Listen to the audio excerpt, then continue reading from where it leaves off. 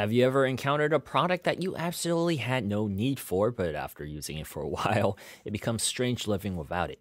Well, I have one of those scenarios right here. Known for making computer monitors, BenQ sent us this interesting lamp in a weird form factor I've never seen before. I'm Alex from Sypnotech, and this is the BenQ ScreenBar Plus e reading lamp. The ScreenBar Plus is formed by two components. The bulk of it is the gripping clip that latches onto the top of the monitor. It has a counterbalance weight that holds the bar pretty sturdily. The second piece, of course, is the light bar. It's a simple piece that has nothing but a micro USB port, which is how it draws power. Installation is as simple as it can get. You mount the clip by gently stretching the arm until it counterbalances and is comfortably seated and release it to clamp onto the monitor. You then proceed to insert the screen bar until the micro USB port is through the center hole, where you can plug in a micro USB cable to power it on.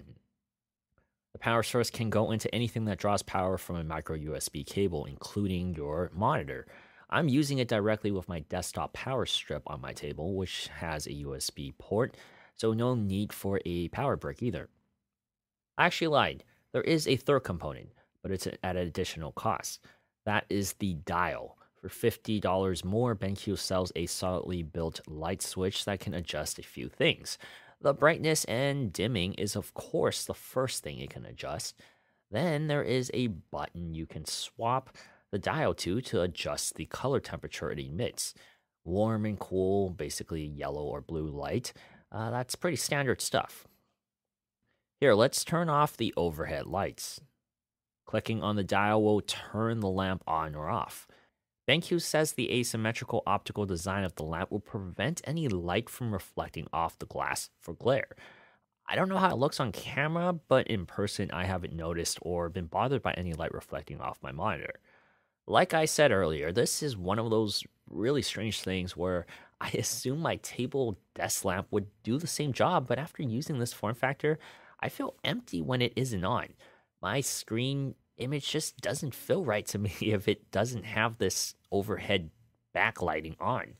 And yes, I know I still have that traditional lamp on the desk as well as that light strip on the back of the table, but what BenQ wanted to do was to eliminate the need to clout your desk any further with a light that needed to touch the table. And with this light bar, I think it works. Here, this is it without the light on.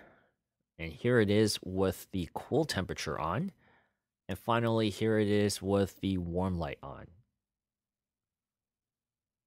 Look, I do think this is a little pricey for sure, running $140 on Amazon and BenQ's website for the lamp and the dial, and $99 without the dial. But it doesn't change the fact that the screen bar is built well and designed efficiently. If you want a minimalistic and unobtrusive light source for your table, I think this one's the one to go with. If you like this video, be sure to like, comment, and subscribe. Also, hit the bell button below so that you don't miss a single video in the future. I'll see you guys next time. Bye!